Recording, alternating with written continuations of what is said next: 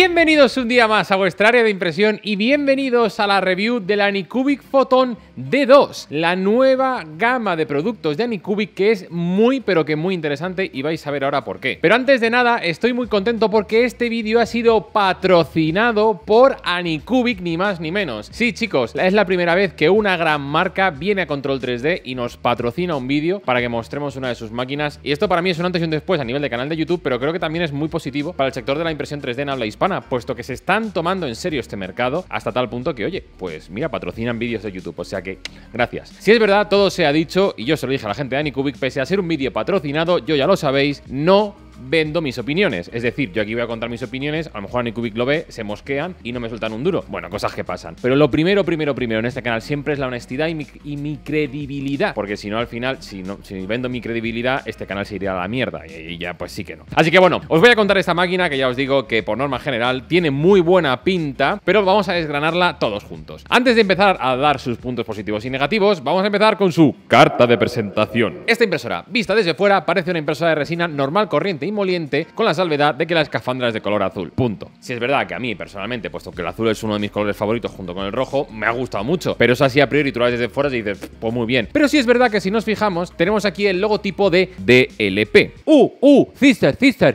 ¿qué es eso de DLP? DLP hace referencia a la tecnología de impresión que lleva esta máquina. Es decir, esta impresora 3D no lleva una tecnología de pantalla LCD, sino que lleva una tecnología DLP. Que para que lo entendáis todos un poco, básicamente esta impresora como fuente de luz ultravioleta para curar las capas, utiliza un proyector que a su vez rebota la luz sobre un espejo colocado enfrente suya, que además podemos ver desde fuera y es muy chulo. Ventajas de este sistema, porque claro, tiene que tener ventajas. Si me está vendiendo Anycubic que esto es de la leche o súper guapo tal, no será porque es peor. Evidentemente tendrá ventajas. Digo, efectivamente, este sistema tiene ventajas. Por ejemplo, ventajas que tiene. Voy a mirar la chuleta. Tiene cosas como que no tiene fugas de luz. Y me explico esto. Digamos que en una impresora de pantalla LCD lo que tenemos es, digamos, una lámpara de luz ultravioleta que se enciende siempre en cada capa y esa luz tiene que ir tamizada por una pantalla LCD, ya sea monocromática de las normales. Entonces, al, digamos, ser tamizada toda la fuente de luz, puede haber algún píxel por el que se fugue la luz o incluso si estos están eh, completamente apagados. Y esto sí que es verdad que es un fenómeno que en algunas pasa más, en otras menos, pero que más o menos todas en mayor o menor medida pasa, aunque no sea muchas veces apreciable. En este caso, en este sistema, digamos que la luz ya es mucho más estable, mucho más controlada y este, digamos, este efecto de fugas de luz no lo tenemos en absoluto. Tanto es así que nosotros desde arriba, lo que, donde apoya el tanque, es en un, eh, digamos, en un vidrio, en un borosilicato, pero no tenemos como tal una pantalla que la esté tamizando, es la propia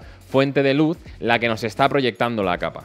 O esto al menos dice Anycubic, tampoco se supone que tengamos bordes borrosos. Yo, a ver, yo aquí sinceramente he hecho la comparativa de imprimir con una pantalla LCD y con esta DLP y cuesta mucho, mucho, mucho, mucho encontrar las diferencias. Sí es verdad que si tenemos un ojo muy clínico, somos capaces de diferenciarlas. No obstante, quiero hacer un vídeo comparativo de calidad entre DLP y LCD para que seáis vosotros lo que decidáis y eso lo haremos ya en un futuro vídeo. Así a priori sí parece que haya acabados un poquito mejores, pero es que hay que ser fisnos fisnos. O sea, hay que, de verdad, hay que mirar con mucha lupa. Mucha, Ahora bien, cosas que sí son más medibles y que sí que podemos ver todavía, digamos, eh, cualquier tipo de usuario, son cosas como que Anycubic dice que esta impresora, frente a sus impresoras de pantalla LCD, tiene 10 veces más vida útil, con un total de 20.000 horas de impresión. Chico, ¿yo qué quieres que te diga? Yo con una impresora de resina dudo que haya llegado a tantas horas de impresión en la vida. Nunca se me ha cascado una LCD, si se me ha cascado ha sido por otras movidas. Pero bueno, oye, no está mal que digan que tiene esta vida útil. Y luego, el consumo, que esto sí que me parece interesante, esta máquina consume 15 vatios, que yo tengo bombillas que consumen más. Seguramente este aro de luz que tengo aquí esté consumiendo más electricidad que la impresora de resina, lo cual me parece muy chulo. Para que os hagáis una idea, Anycubic dice que una impresora de las suyas equivalentes de LCD consume 60 vatios, que ya es poquito para una impresora 3D, pero oye, joder, que son cuatro veces menos, lo cual no está nada, pero que nada mal. Bueno, qué bien la está vendiendo, como si nota que le han soltado los billets. Que no, hombre, que no. Ahora vamos a hablar de los cinco puntos positivos y negativos para que ya hablaros un poquito más de lo que ha sido mi experiencia personal. Y vamos a empezar con el Primer punto positivo, la calidad. Y evidentemente, a la hora de una impresora de, resina, hablamos de que imprime con muy buena calidad. Esto no es sorpresa. Tenemos una calidad de impresión 2K, similar. Y la verdad que está muy pero que muy bien. Da muy buena calidad y con esta fuente de luz, pese a que algunos pudierais echar en falta el 4K o incluso 8K que hay por ahí, la verdad no lo veo yo necesario. También porque es una, digamos, es una fuente, una, un volumen de impresión muy pequeñito. Entonces, con 2K va más que sobrado. Ya os digo, una impresora de resina creo que es un punto en que todas hay que comentarlo. No tenemos el efecto, digamos, de anti-aliasing ni nada, gracias a esta fuente de luz que en este caso es un proyector. O sea que Está muy bien y la verdad que a mí me ha gustado mucho la calidad. Segundo punto positivo, la velocidad. Y en este caso, para que os hagáis una idea, la velocidad que podéis alcanzar de impresión con estas impresoras de LP es similar a la que podéis alcanzar con una monocromática de, en este caso, Anycubic. Yo siempre voy a hablar de Anycubic, no voy a hablar de otras marcas. Pero vamos, en este caso, digamos que es equivalente. Tenemos unos tiempos de exposición por capa de entre 2, 2,5 segundos estoy utilizando yo, que viene siendo más o menos lo mismo que las monocromáticas. Hay algunas monocromáticas que pueden ser un poquito menos, de 1,8, pero vamos, que por ahí andan en el valor más o menos de unos 2 segundos, lo cual creo que está muy bien. De hecho, este Batman que habréis visto antes, el tiempo de impresión total se ha, sacado en varias impresiones, ha tardado como unos 6 minutos, eh, unos 6 minutos, anda, sí, mis ganas. Unas 6 horas de impresión, lo cual, joder, está muy bien con la calidad que tiene. Pensar que de calidad tiene unas 50 micras, lo cual, bueno, está guay. Tercer punto positivo, muy silenciosa. Y si es verdad que las impresoras 3D de resina no son máquinas precisamente ruidosas, de hecho, las dejas imprimiendo y casi ni te das cuenta. Pero sí es verdad que dentro de lo que viene siendo una impresora de, de resina es especialmente silenciosa. No se escuchan ventiladores, no se escucha nada. Os dejo un clip de vídeo.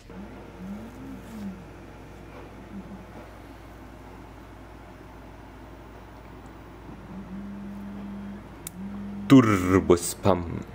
Cuarto punto positivo, la plataforma de construcción. Y es que en este caso la plataforma de construcción ya nos viene texturizada con este efecto de, patrón de ajedrez que yo cuando lo leí en la ficha de Nikubic me pareció una gilipollez, pero sí que es verdad que está muy bien, las piezas se adhieren y sobre todo se despegan muy bien, lo cual esto me moló. Y también sobre todo que al estar sujeta con estos cuatro tornillos, la base es mucho más rígida. Y es que Anycubic antiguamente tenía el típico sistema de dos tornillos prisioneros frontal y lateral y era muy fácil que despegando la pieza soltaras la base y tuvieras que volver a calibrarla. A mí no me ha pasado ni una sola vez eso, la verdad que es una base muy dura y creo que en este caso, pues oye, está guay sin ser tampoco, joder, algo súper sofisticado. Me parece bien que lo pongan. Y quinto y último punto positivo, es distinta. Y no me estoy refiriendo, digamos, a lo que es el apartado estético. Sabéis que en este canal hace mucho que no enseño una impresora 3D de resina y es que todas me parecen al final lo mismo. Impresora monocromática, LCD, más grande, más pequeña, pim pam. Es que no tiene más. De hecho, vais a ver en futuros vídeos una impresora de la competencia de Stany Cubic que vais a ver que es que viene siendo un poco lo mismo. Y se agradece que Anycubic haya innovado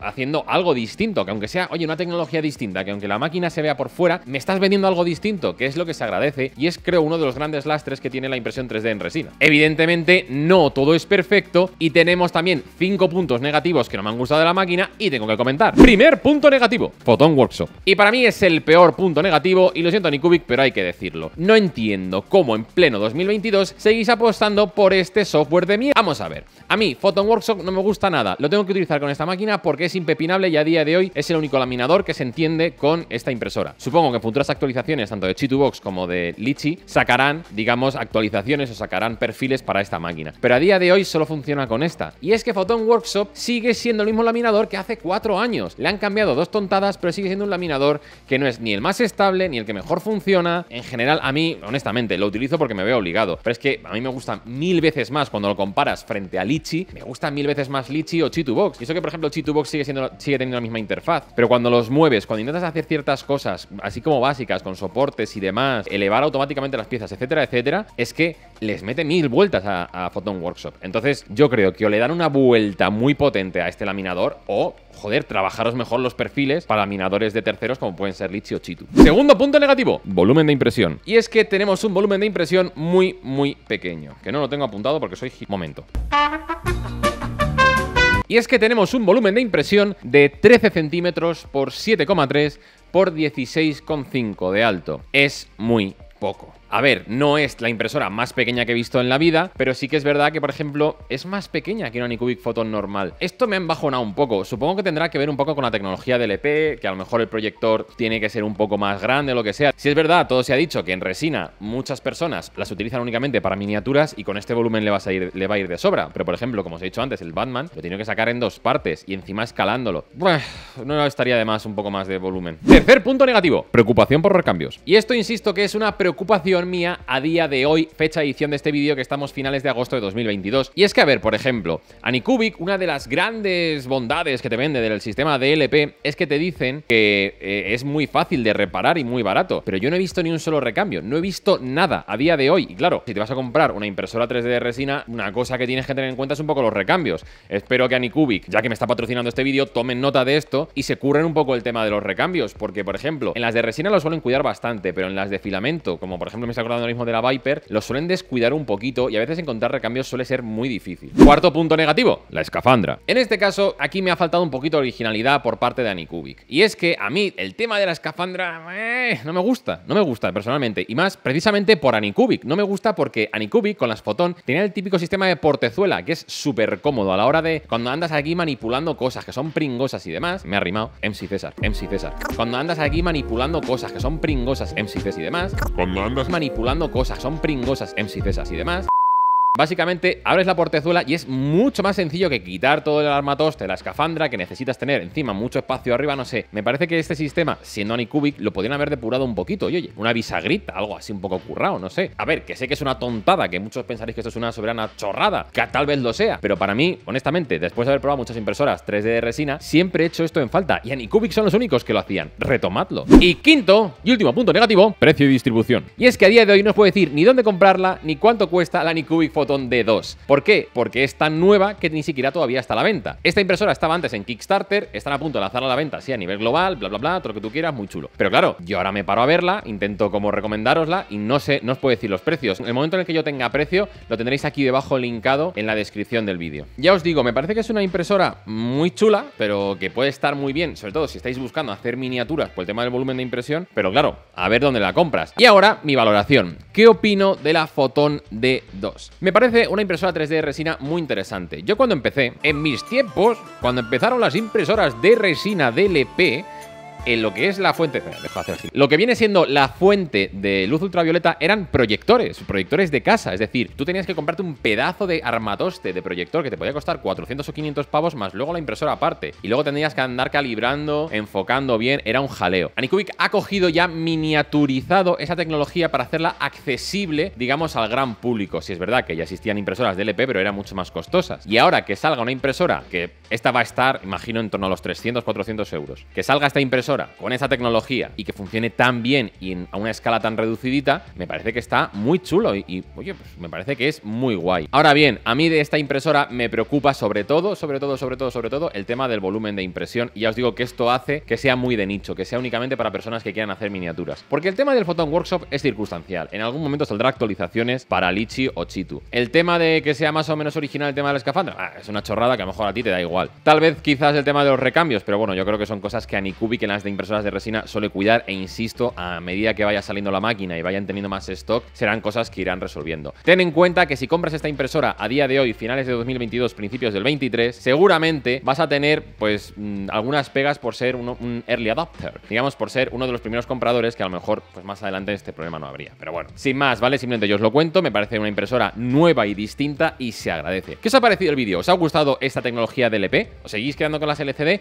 Hacedme saber vuestros comentarios aquí abajo en la descripción del vídeo me hago. Y antes de despedirme, no me olvido que por cada vídeo que publico regalo una suscripción mensual a mi academia online. Claro que sí, básicamente lo que tenéis que hacer es ir a la publicación de este vídeo, la pestaña de la comunidad. Habré dejado una encuesta, básicamente para decir qué opináis de esto, bla, bla, bla, La respondéis, comentáis y habrá, salido ganador o ganadora como en estos vídeos. Y, y, y, y, los minutos finales de los vídeos se los quiero dedicar a mis suscriptores y suscriptoras fieles. Y realmente ahora mismo no sé cómo va a estar un poco mm, el tema publicaciones de vídeos. No sé si este vídeo va a ir antes, va a ir después. Pero, pero, pero, pero, aquí detrás tengo este pedazo de mostrenco de aquí que es bestial. Imprime unas velocidades de miedo. Y a día de hoy estoy dudando si es mejor o peor a nivel de calidad que mi Prusa MK3S Plus. No es clickbait. Así que si queréis saber qué impresora es esta de aquí, que algunos ya lo sabréis, y qué estoy diciendo y todo esto, te puedes suscribir en este botón de aquí, ¿eh?